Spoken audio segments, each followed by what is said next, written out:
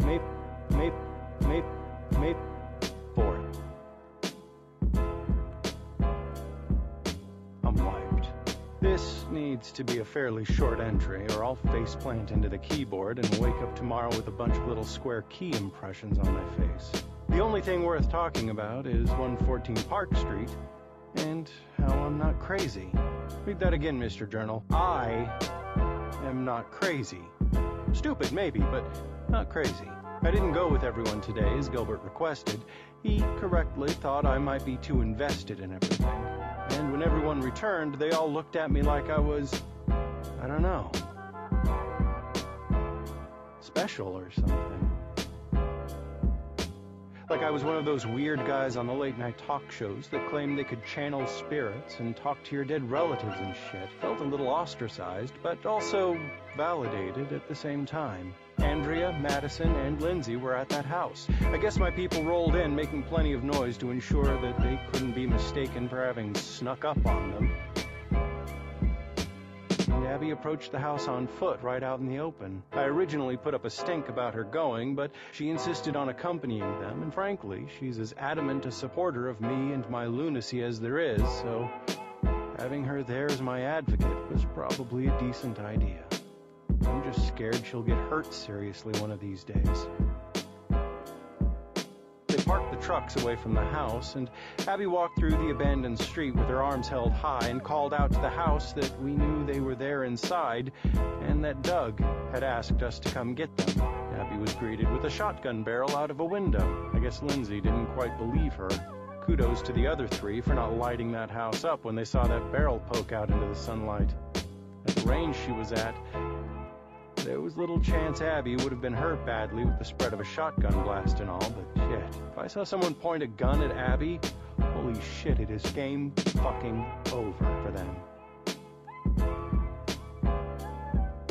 Abby spoke to them about why they were there, and from what Gilbert said, she fucking told them exactly what happened, dream story and all.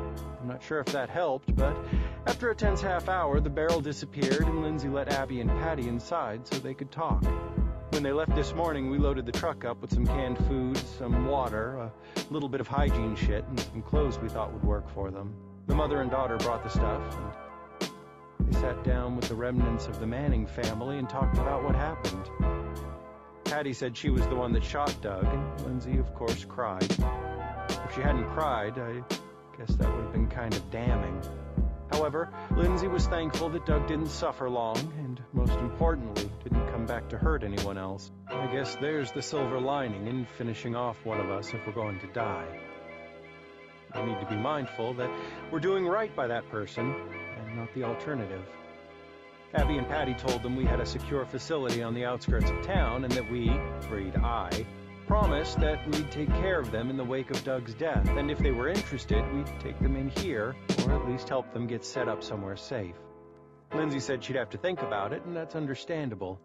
As Gilbert said, we were the enemy yesterday.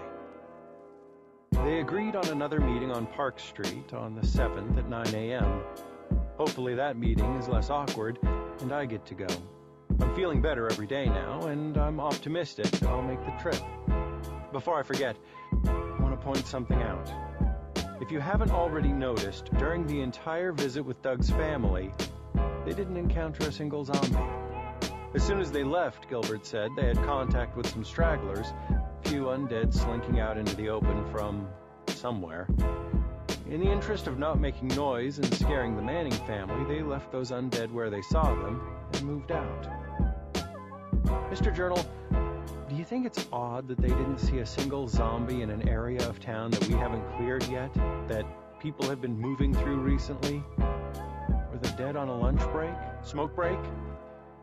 It's conspicuous in my book. Gavin has given me a wide berth all afternoon and all evening. He didn't know the full story about the night of March 3rd and the full details of the horde of undead that assaulted us that night. He saw the books after he helped us purge the campus, and he knew something strange was afoot, but the whole story was never shared with him. I guess he asked on the way back, and Abby told him what happened that night back in March. Well, those nights. God, that blew. I'm still surprised we made it through that, Mr. Journal. There were a lot of odds stacked against us then,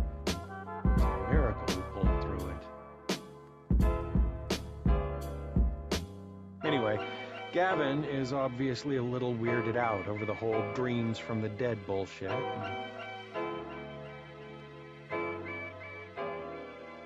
He just agreed to roll with the plan today because Abby was on board with it. He didn't believe my story, but he was willing to go on the faith he had in Abby.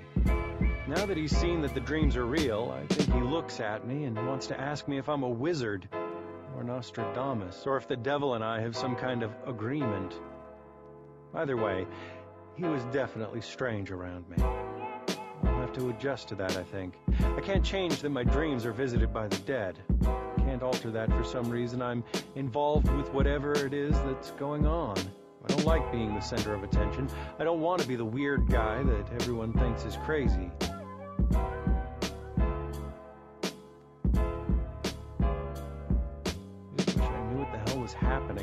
If I'm lucky, I'll have another dream one of these nights.